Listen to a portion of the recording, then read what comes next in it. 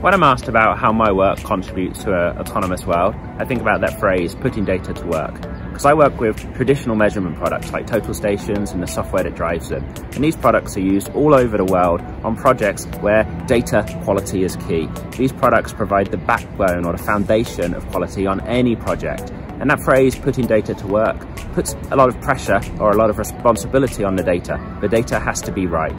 So I really take a lot of pride and inspiration in the fact that our products are used in this way. They help build quality and they help us all build towards this autonomous future. For the building construction trade, we offer a, a, variety, a wide range of portfolio that captures data on site. And you can transfer that data through the cloud to the office space, verify it, post-process it, and then also send information back to site. Why is that important, especially in regards to autonomy?